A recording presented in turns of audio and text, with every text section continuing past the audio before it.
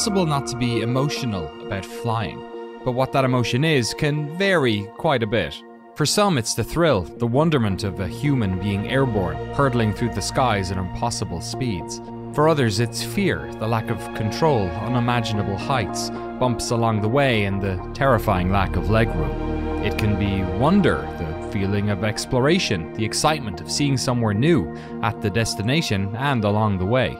And of course, joy, a journey back after too much time away, seeing old friends, embracing loved ones, returning home, or finding a new one. There's no escaping the wonder of mechanized human flight, and proof of that is in the game we're about to talk about today. Microsoft Flight Simulator is one of the longest running game series of all time, and over its 40 year tenure, it's also been a showcase for the power of video games. Not just their power to simulate real world places, but their power to stir emotions in players. Microsoft Flight Simulator is among the most beautiful and technically impressive pieces of software ever made, a labour of love for two teams separated by an ocean and 5,000 miles, because that ocean and each of those miles are actually in the game. You see, Microsoft Flight Simulator contains the entire world, every country, every city, every airport, road, almost every tree. And in this video, we're going to explore how the teams achieved that and more. How they created their digital twin of planet Earth, the way they breathed life, weather, and nature into that world. How they modeled dozens of planes to a higher degree of fidelity that we've ever seen. And in many ways, most importantly, the effect of releasing a game that allowed people to visit home as a global health crisis has billions of us grounded. I've been obsessed with the story of how this game was made for a while now, so it's my absolute pleasure to share with you. So please sit back, relax, and let us take you on one of the most unique journeys in game design you're ever likely to be on. Alpha 3901 taxi.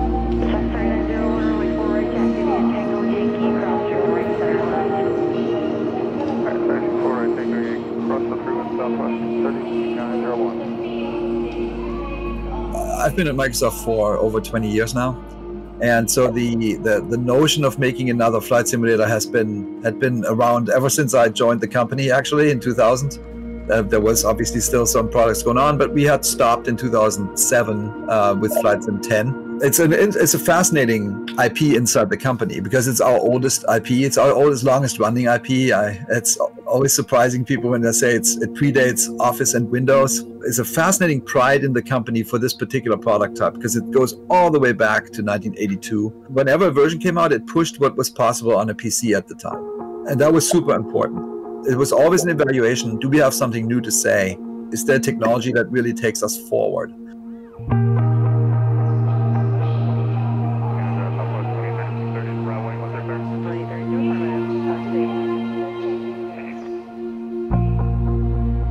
Jörg Neumann, a veteran of flight sim, would lead the project from here in Seattle with a team of just over a dozen people, mostly focused on licensing, publishing, and feeding in expertise from other Microsoft teams, including Bing Maps and Microsoft Cloud Computing Tech, Azure. We'll dive into those a little bit later. But to talk to the developers of the game, we have to take a long haul flight from the Pacific Northwest all the way to Bordeaux in France, the home of veteran game developers Asobo, a studio with quite a diverse resume. We have really a two sided organization. One part is more on simulation, we worked on fuel. It was a bike, truck, car, uh, quad racing game. It was a little bit more arcadey, even though the engine was very realistic, but all the settings were very action oriented. It was already open world. And the other side of the company has been more specialized in Pixar titles and action adventure games, character based.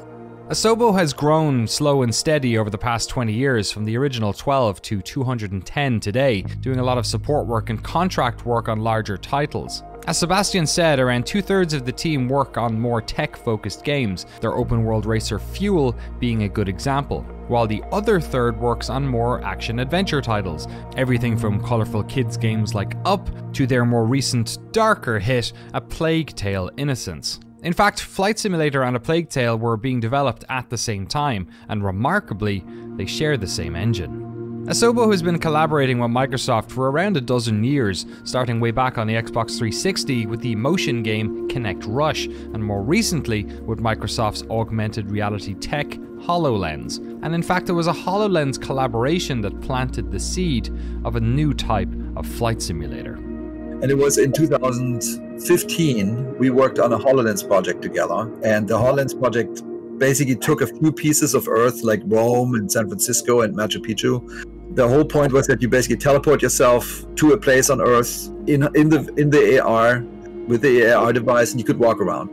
And I remember Machu Picchu looked just amazing. It was it felt totally real, even though I'd never been there. It was like it's exactly what I imagined Machu Picchu to sound like and to, to feel like and to look like.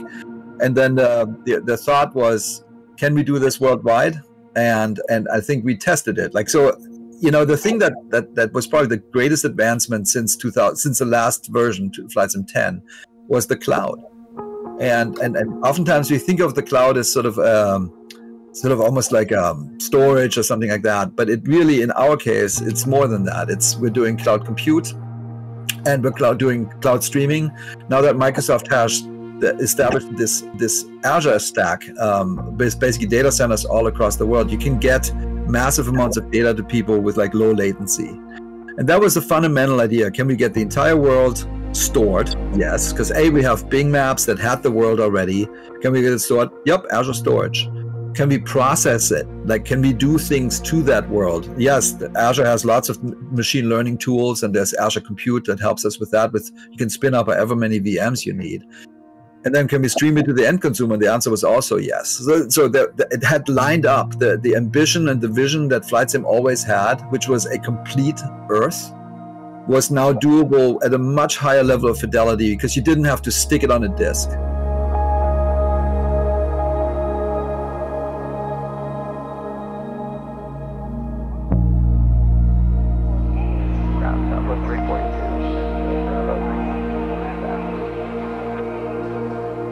Okay, let's back it up a little bit because a lot of complicated stuff was just talked about.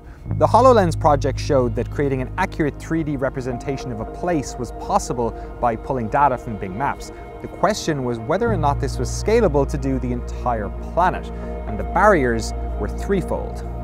1. Could you store the entire globe? Well, yes, Bing Maps has aerial photography of the whole planet. That's technology that's pretty commonplace these days.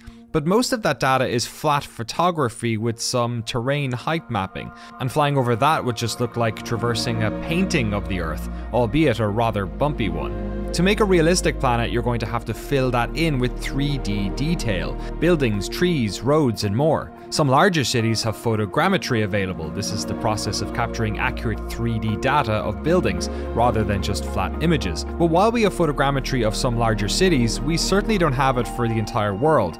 The Eiffel Tower might be scanned, but your uncle's bungalow in Kansas probably isn't. Painting in this detail, home by home, road by road, and tree by tree, could take the studio years, perhaps even decades to complete. Which brings us to number two. Do we have the cloud computing capabilities to have VMs or virtual machines chew through all of this map data and, through algorithms the team has programmed, paint accurate 3D objects onto the entire globe? The answer again was yes. And so we go to the third and final technological obstacle. Is it possible to stream this data to people's computers with low enough latency that they don't even notice? And the answer, again, was theoretically Yes.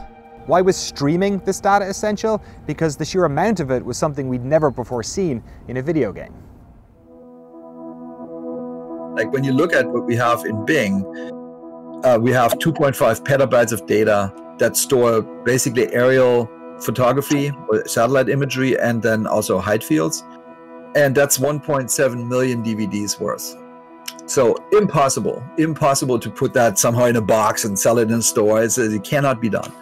But streaming, uh, that is now a thing. And then this is sort of the first time that I've seen a game that really uses that entire stack that we are now enabled with uh, for for an experience. And I think that's why it feels like a real leap ahead in gaming because there's never been a project that's like, hey, the entire planet and every house 1.5 billion houses and 2 trillion trees in a product. Uh, and it's enabled by the cloud and it's enabled by the Microsoft tech stack. You, you could do uh, AI in your local machine but you can't process the planet on your local machine. You need 10,000 computers. That's why um, only only something like Azure can do this. Yeah, the challenge I think was to how, how do we get from all this data to something which looks like the planet. We, we try to be smart. so we uh, we started with an itty bitty tiny team. It was the first build that came in. That was the Seattle map and the Grand Canyon map, and we flew around with a little Cessna, and it worked. And it looked it already looked good, but it was just a very specific use case. But it gave us confidence, honestly, to build the team. And that was the first time. That was probably the first time I showed it to anybody because it was just between the you know four of us trying something because that was really what, what what I nowadays call the static world. You know, it's just buildings and trees, um, and and and there's lots more to do, right? There's what the dynamic world. There's a living world. There's all these layers. At some point, we was established, hey, we want to land everywhere, and it, that that is that was way beyond what we had with that first prototype. But but but yeah, I mean, we took it step by step and grew the team carefully.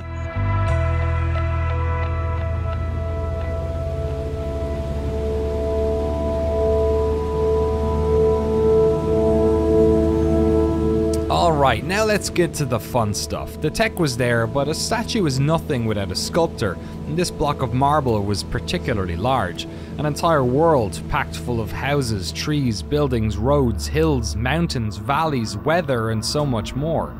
So, to turn this world from a photograph into something that resembled the real world with all of its depth and detail, the team at Asobo, with the help of some external partners, would have to create technology to help them sculpt this world algorithms that chipped away at the marble, and new technologies that filled in the details.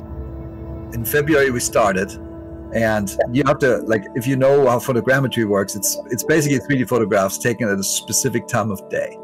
So the Seattle map, imagine we had a pretty damn good Seattle map, but it had shadows baked in, there's some there's some stuff that doesn't look so good you know the space needle didn't look so good you know because anything that has an overhang you know these things are taken by an airplane and it takes a photo every second and then it constructs a 3d point cloud right? That's how that works.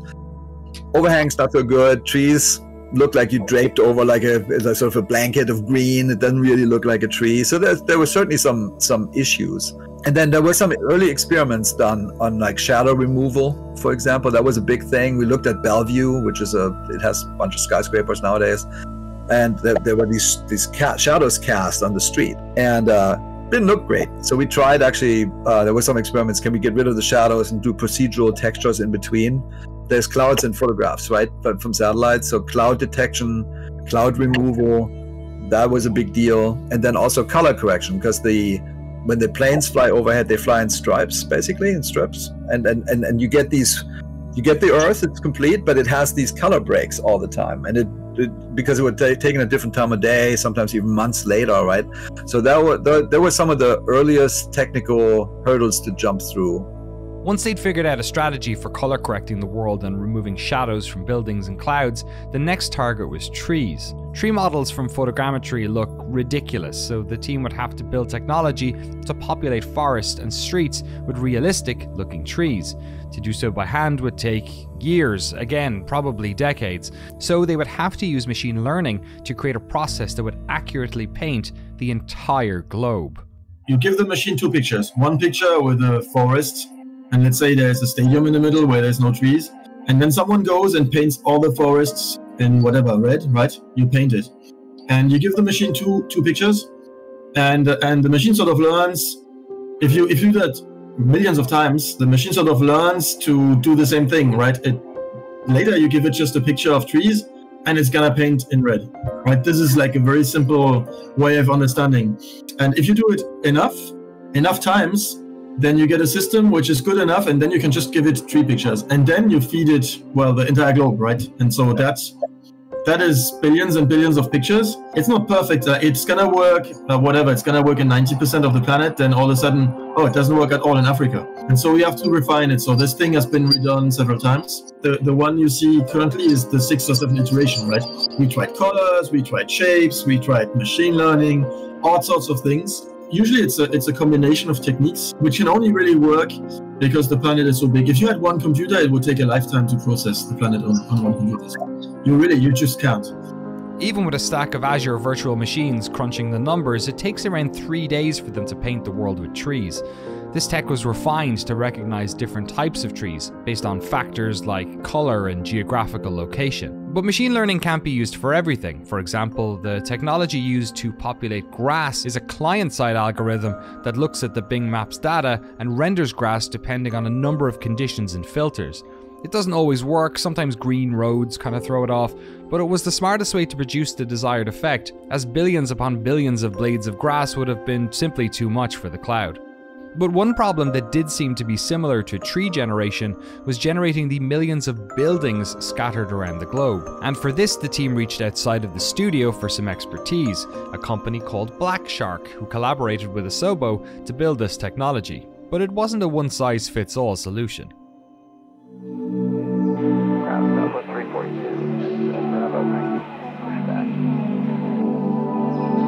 We have some buildings where, where like in Seattle, like it's 3D scan, so there's already buildings. So there's obviously it's not just done, right? We need also is there texture, is this glass? So there's all sorts of stuff. So that that, that was already handled on our side. Um, but that company basically they they can build uh, buildings in 3D when you have nothing. I mean, most of the time what we have is a top-down picture, and so they they look at the top-down picture and find the roof color, not but not only the color. And so they train the computer, some AI, to recognize is it a flat roof or is it like a this roof, right? Or what kind of roof, roof is this, right? And then it can basically say, after enough training, it can say, yeah, this is a hangar, this is a school, or whatever. It can can find the type of building just by looking at the roof. They combine that data with data from OpenStreetMap or other data, and in the end, they spit out a building, which is, um, I would say, as close as possible the, goal was to make it seamless because there's so many different data sources and some are high res, low res, 3D, and you want everything to look as much as possible the same in the end. It's hard to see the transition when you go from a actual real scan photogrammetry, right, where it's the actual building, and then next to it there's a, whatever, there's a, a village which is not in 3D. So then, then that buildings get generated, and then it goes into a rendering engine, and the shading has to be exactly the same, and really make sure that you, you don't see any difference.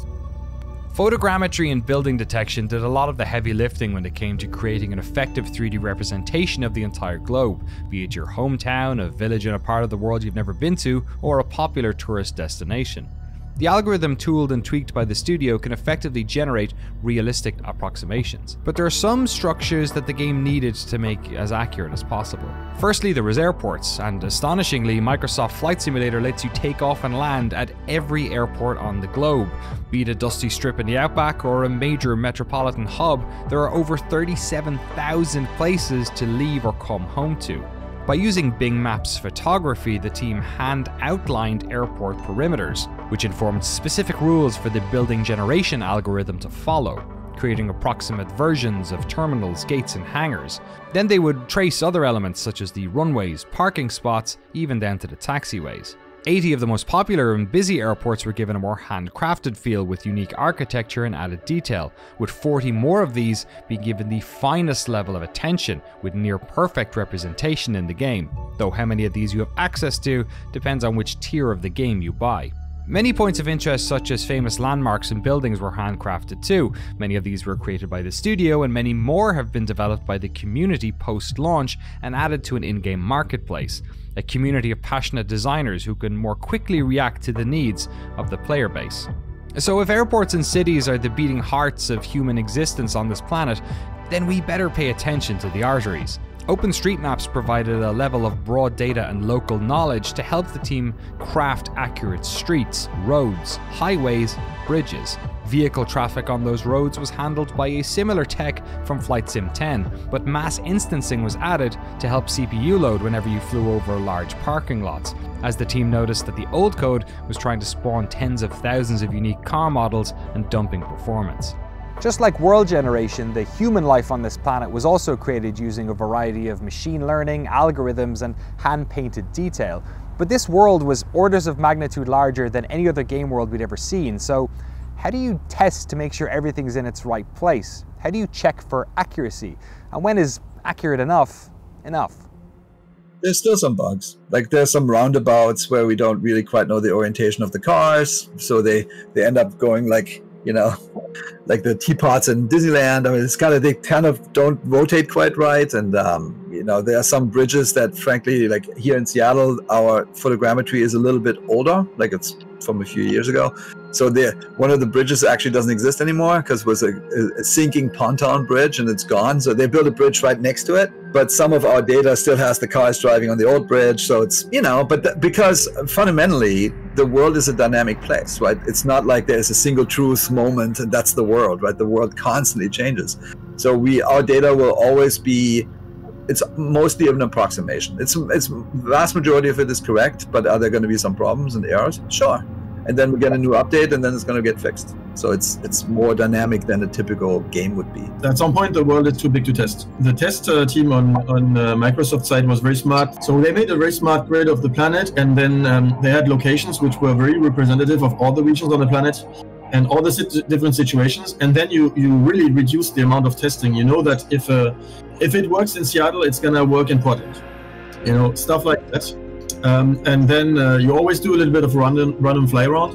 Um, I, I, I, think that just flying around with a Cessna takes takes years and years and years to, to test the whole planet so you can't do that.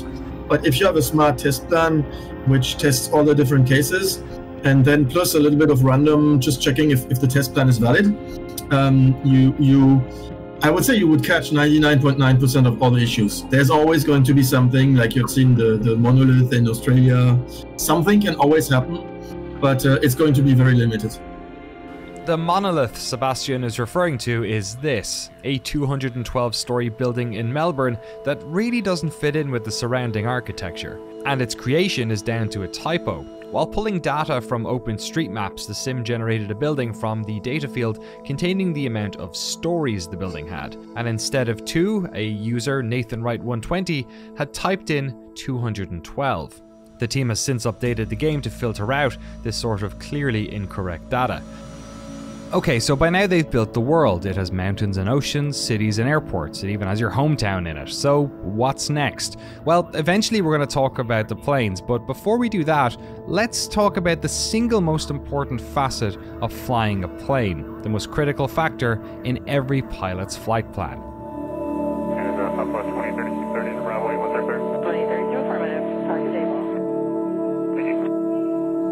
The vision was that the world is dynamic and, and for that, you need a dynamic weather system. So we looked for what is the best available weather data in the world.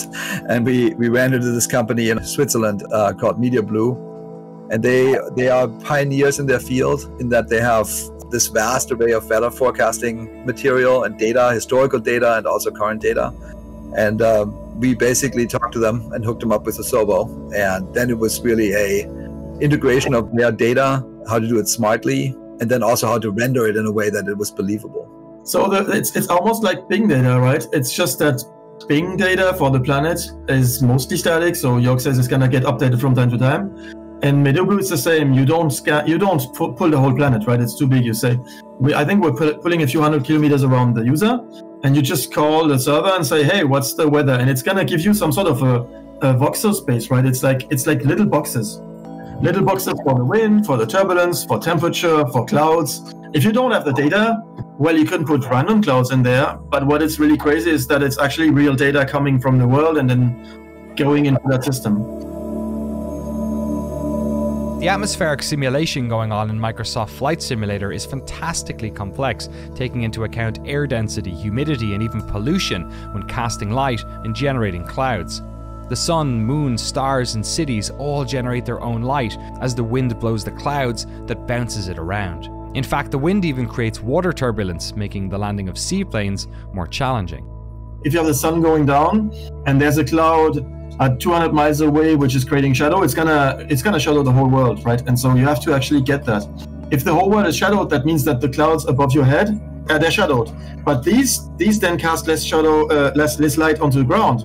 So the ground is now darker because the cloud above you are, are, darker. The difficulty is what is the best techniques for whatever for for uh, uh, mountain ambient lighting. So for example, if you go at Courchevel and you go down into the valley, you're gonna notice that the ambient light of the sky um, is is hitting the the um, the fog differently. And if you don't do that, if you don't do that uh, specific calculation, the fog is too bright in the valley and it looks weird.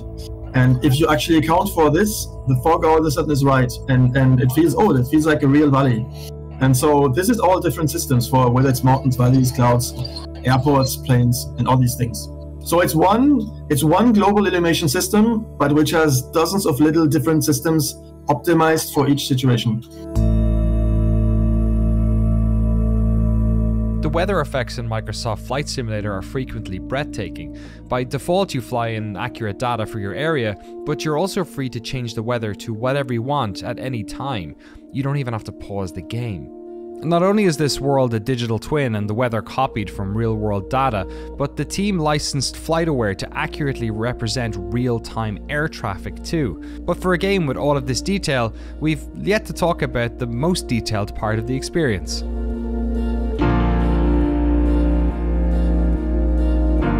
From the get go, we said we're making a sim for simmers. And I can tell you that simmers greatly care about every single detail.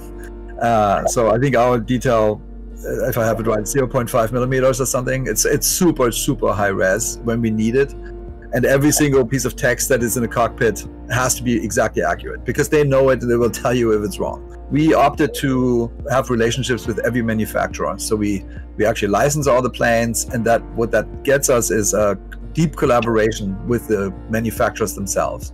And then sometimes they give us a scan already, it's in the rare case, but they give us access to planes and also to the pilots. For the planes, we actually initially started modeling the cockpits. Um, nowadays, you actually scan the cockpits. So this is just an evolution also where how I think games are. Like if you look at Forza, they're doing very similar things, right? It, it is now possible to get this just exactly right and specifically for a sim that is really so close to reality i think it's critical to get to that level of detail and even the wear on the textures you know and there's a button that gets used a lot it actually you will see that that it gets used a lot so it's not all factory factory new Asobo's audio team spent months capturing the sound of flight from ambient cabin noise to open windows, closed windows, to 3D audio recordings at multiple points around the plane. The vast majority of Asobo Studio took flight lessons as well, to try and understand how the plane feels and to get to grips with the litany of systems at work during flight. And according to Sebastian, older versions of the game were able to simulate many of the systems. PCs in 2006 were pretty good at electricity, hydraulics, and fuel mixture. But one area where Asobo added much more fidelity was the number of control points on the plane that interacted with the physics of flight. In the past, the plane was taken as a single object, and the effects of things like speed and air pressure were universal. But Asobo threw out that single box and added a thousand surfaces. And, and, and funny enough, actually, the, the, the single point system didn't go up to thousands in one step. Actually, there was one point, and then I added one on each side of the wing, say, oh, that's better. And then on the tail, and then one more here, and one more here. And I said, oh. And, and the idea is basically to capture more and more detail. So it's, let's say, um, with a single point system, you fly over a bump in the air. If the bump is on the right wing, you don't get it. You don't have any change. And uh, if there's the point on the right wing, you're gonna get the bump. But if there's just one point, well, you don't really get the exact bump, you get something, right?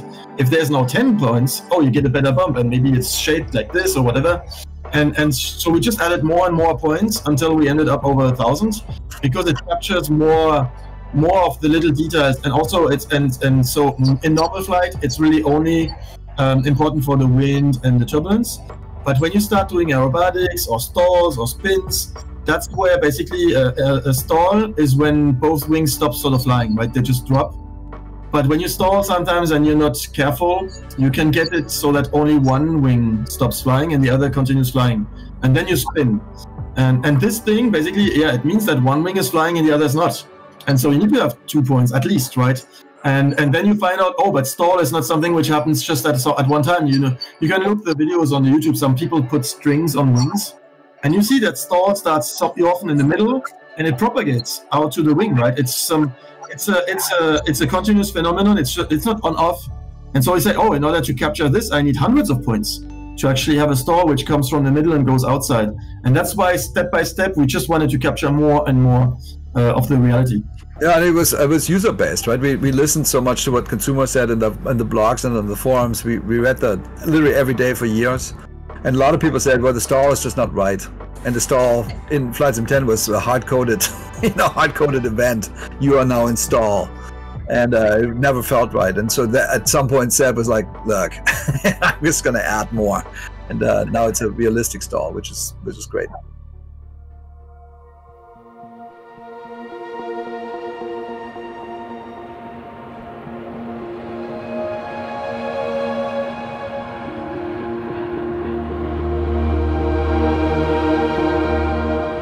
One of the things I love the most about video games and the work we do at NoClip is that games are very technical things, but the ways in which we all talk about them, it tends to be about the way they made us feel. I know this has been complicated. There's been a lot of machine learning and algorithms and data points, but I just want to leave you with one more, and I think it might be my favorite. I asked Jörg what happened when they took the training wheels off the player? What happened when, for the first time, they were presented with that globe and they could pick anywhere in the world to fly to. Where did they go? What was the place that was the most popular? Was it New Jörg or the Grand Canyon or the Bermuda Triangle? His answer surprised me, and it probably shouldn't have surprised me considering the year we've just had. But York said that 70% of players flew to the same place. They flew home. Like I remember, like when the corona, certainly when the coronavirus hit, like I'm, I remember trying, like, I was supposed to go, like you just said, I was supposed to visit my my family, and I couldn't because they live in Germany. I'm like, oh. So I actually flew there uh, and, and called my parents, and I shared the weather. We just talked about the weather. It was the same time of day, same same weather. It looked exactly right. Uh, and I basically called them up and say, hey, I'm as close to you as I can get. I think we see that replicate a lot.